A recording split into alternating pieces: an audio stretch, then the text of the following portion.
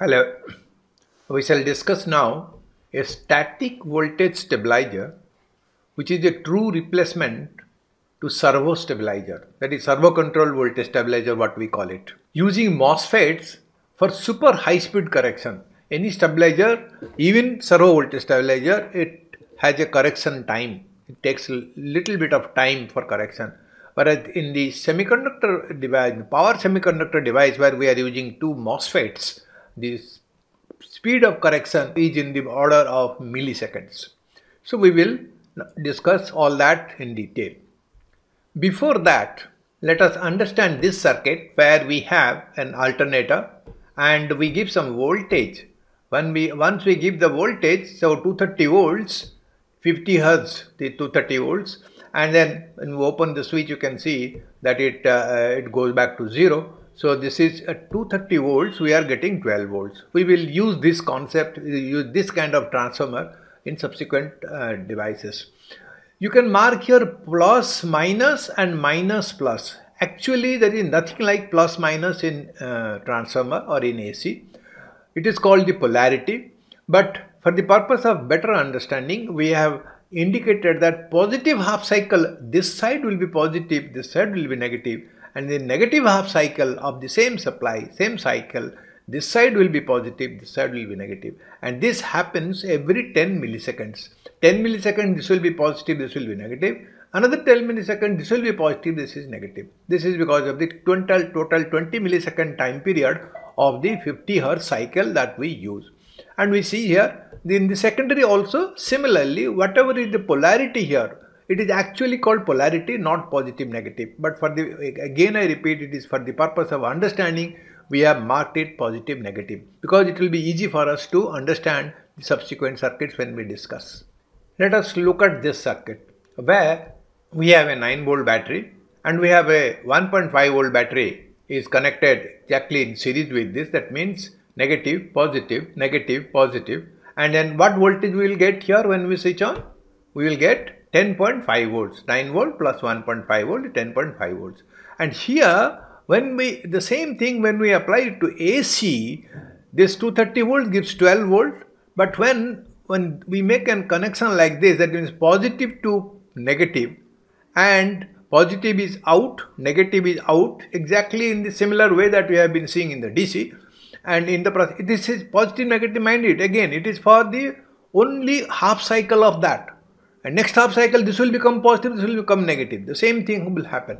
So now when we switch on this, what we find that this gives 230 volts and we get 12 volts, but the output is 242 because 230 plus 12 getting added and you get 242 volts. This is what we call boost. In voltage stabilizer, sometimes we have to boost the voltage and sometimes we have to buck the voltage. That means to reduce the voltage. So this is as far as the boost is concerned in AC what we have compared with the a DC situation.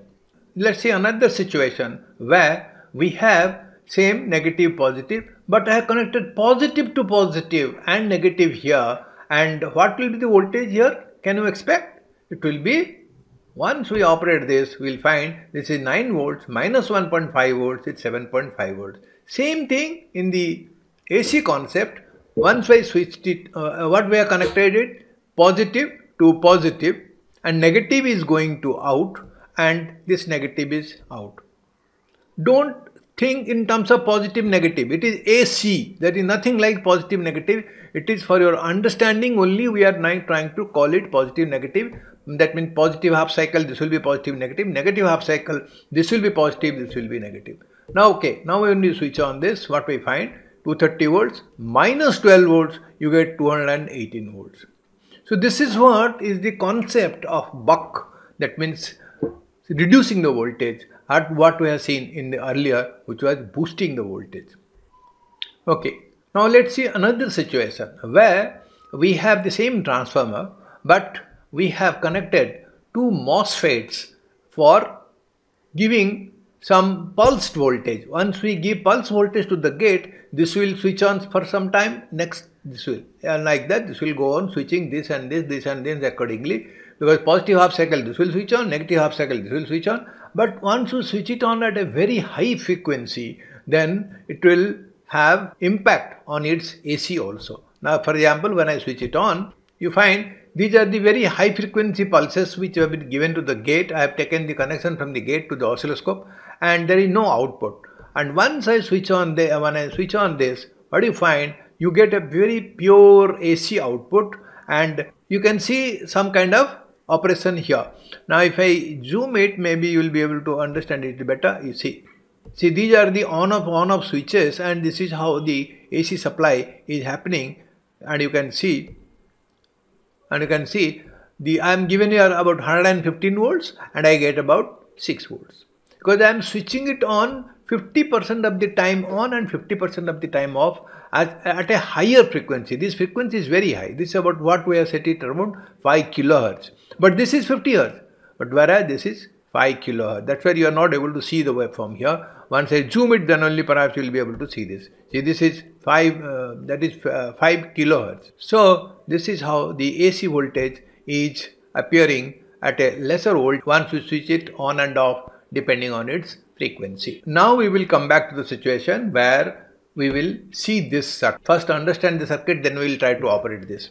In this circuit we have a PIC microcontroller and then we have uh, certain arrangements here like this is a small transformer signal transformer to developing some kind of 9 volt or something like that and uh, it is a, actually the, the there should have been two diodes here and then making a DC and that DC should have come here which, will be around 15 volts.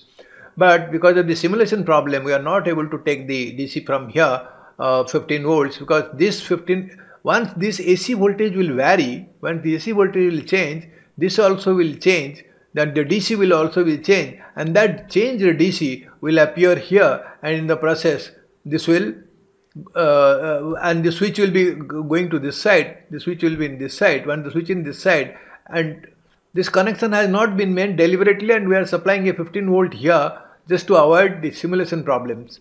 But actually it should have been, it should have gone with a uh, two diodes because it's a center tapped uh, transformer, it should have gone with a two diodes to this point, particular point.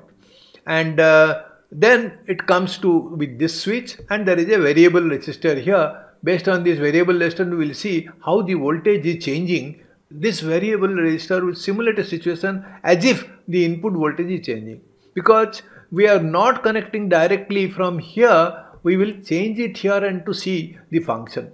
It will not be possible for us to connect this at the moment. Actually, in the in the actual practice, this will be connected through two diodes to this point. Now let's see. Uh, okay, and then we have ULN 2003. ULN 2003 has been connected in such a fashion that this will be driving the MOSFET gates. You can see the circuit and this will be used for driving the MOSFET gate. There are two MOSFETs which are connected in, uh, in this typical fashion and we will try to explain this how it works.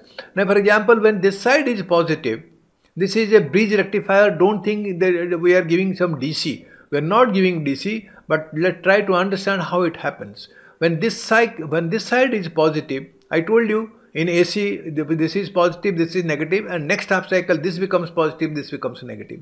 Now it's a bit difficult to understand, but still I'll try to simplify it as far as possible. Now, when this side is positive half cycle, when this side is positive, as we discussed before, it starts going this way. It cannot go this way in this bridge rectifier. It is actually not a rectifier, it is just used for the conduction purposes. It goes this way and it reaches here it can either go this side or it can go this side. But if, if this side, if this MOSFET is switched on and this is not, then this has to only go from this way and then complete to the ground and complete the path here by this coming by this diode and then completing the path. Go this way and comes here, comes here, comes here, comes here to the ground and back to the this way back to the supply. So this is what is the path. Similarly for the other half cycle. Now the trick is how to change the phase because in earlier examples what we seen we were changing the phase for buck and boost operation. Here changing the phase is a little uh, interesting one. So what happens when this side is positive and if this is conducting so this will be positive. And but when this is positive and I switch on this one. So what will happen? So this side will be positive, this side will be positive means this side will be positive, this side will be negative. Now please try to understand. When this was positive, when this was positive and this was positive and this was positive and in the process this was positive, this was negative. But if at th that particular moment when the phase is this is positive, at that particular moment, that particular half cycle, if I switch on this one, so it will flow this way. So this one becomes positive and this one becomes negative. That means the phase changes. So this is only the secondary voltage. We have deliberately not connected it to the primary voltage. This is the primary voltage. We are not deliberately connected. This is the primary winding of the transformer. We have not connected deliberately to, for the simulation purposes. But this secondary voltage, you see the secondary voltage phase is changing. So once the phase changes, either it will buck or it will boost. If there is no change, then the input will be equal to output. So this is what it's a bit difficult to understand, but this is what the how the phase change takes place in the process. And what we have done here, we have uh, a, an arrangement here. If we keep the uh, switch here, and this is the, now supposing switch here, now this is 5 volt, this is given to 5 volt and 5 volt means this will be 2.5 volt and 2.5 volt the input will be equal to output. But then when it goes this so it will be boosting. When it goes little above this will be boosting. And when it goes little below the when it goes little below the this function it will be bucking. And mind it this we are not changing uh, uh, in real practice. The change will take place here. And because this voltage will be connected here so the this change will reflect on this place when, when we came when we bring the switch to this side. Now let's see the uh, the uh, the boost position. Now supposing little little above boost position, and when we switch on this, when we switch on this, what we find is that now let's see this operation uh, carefully. Let me pause it and then go over to this thing carefully. See what is happening when this side is when this side in the when uh, this is the positive half cycle. This is the positive half cycle. In the positive half cycle, this yellow is positive and uh, blue is negative. This situation. In this situation, what is happening? You see, now in the positive half cycle, blue is high. So that is how the phase has changed. The phase has changed. Phase at this secondary has changed. So what we have explained before that when it is positive to negative, it is boost when it is positive to positive. This is what we had seen and this happens this automatically it in fact the program decides which one will be switched on first i hope you have understood this uh, clearly because depending on which one is switched first then only the uh, phase is decided if this is switched first with respect to this positive and this becomes positive or if this is switched when even if this is positive and when we switch on this one so this becomes positive or this becomes negative. So the phase changes. And let me tell you again and again this is not positive negative as far as the AC is concerned. For your understanding purpose only we are telling about positive and negative. So this is what is how buck and boost operation takes place. And similarly, when we switch on to this side, so this is around 4.97 volts, same thing, you will get same similar kind of function when it is actual thing is coming. We have assumed that 15 volt is coming here and then we have a Zener diode of about 10 volts. So 5 volt will be appearing here and this 5 volt is given here to this potential divider based on which there is 2.5 volt, there is no buck and no boost. Now if I put it this way and try to switch on, you see there is no buck boost. This is this is because of simulation error, but there is no buck boost. In the uh, the output is same as the input. This is the beauty of this particular circuit where you have either uh, the, the, center point is the zero based on which the code has to be written. And the code, if you look at the code, is written in assembly. As you notice, this code is written in assembly.